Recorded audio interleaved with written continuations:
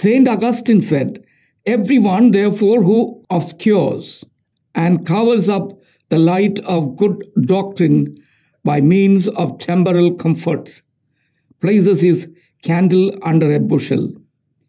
Every follower of Christ is a light of the world and the salt of the earth, while salt is an agent that preserves and brings taste to the fore.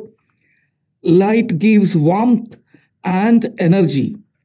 As the light of the world, we are called to expose darkness and influence those living in darkness and bring them back to the benefit of the light.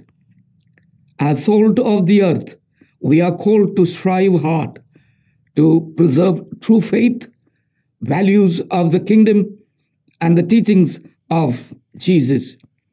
Being the salt of the earth, the light of the world, we live a life founded on the values of the Beatitudes.